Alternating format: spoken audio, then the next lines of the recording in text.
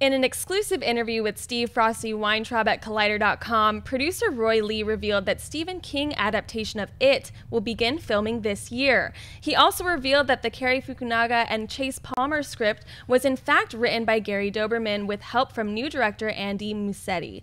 Lee also said that the movie is very close to the source material and that the adaptation will be cut into two movies, the first being from the point of view from the kids and the second movie from the point of view of the adults. He also confirmed confirmed that both movies will be rated R.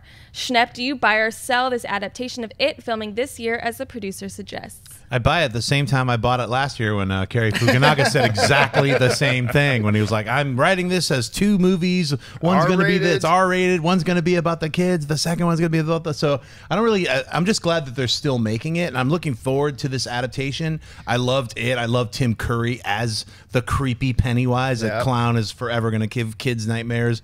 Um, I hope that I'm, I'm hoping that they're able to do something new, brand new with a clown. I mean, I can't really imagine what else they can do with a human skin mask of a clown. What are they going to do? Is it going to be a clown with an octopus body? What is it going to be? you know.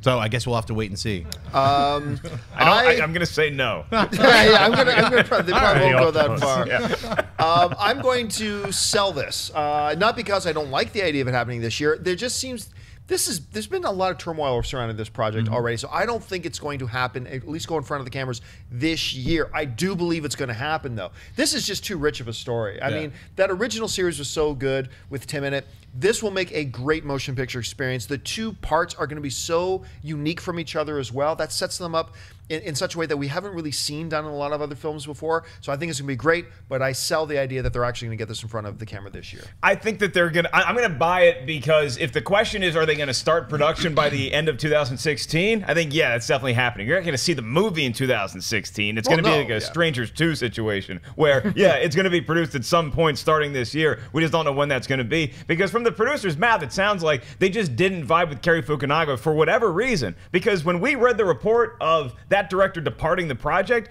it seemed like because he wanted to make it two parts and because he wanted to make it rated R, and the studio was like, no, and now it's going to be in two parts and it is going to be rated R. Right. So I don't understand what the discrepancy was, but whatever it is, maybe they have the director they want to work with in place now, so it gives me a little bit of hope that we can get this thing rolling. I heard soon. that Ray, that uh, Cary Fukunaga wanted to use Ray Winstone uh, for, for, Pennywise. I think I think that turned the producers off a lot. Anyway, John, do you think they're going to get this movie in front of the cameras this year?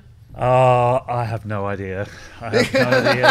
Um, if if it's part octopus, maybe not. It might take uh, might take a little bit longer. Can't believe you went against me, Hillcoat. Oh, oh no, that's rough. You know but by the way, it might take an extra year, but it might be better with the octopus. Yeah.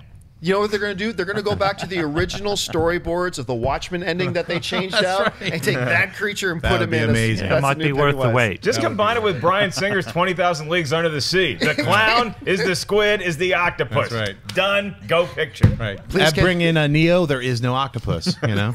hey guys, if you like this clip, click here to watch the entire episode. Also, make sure you subscribe to our YouTube channel because it'll help you stay up to date with all the stuff we've got going on here at Collider.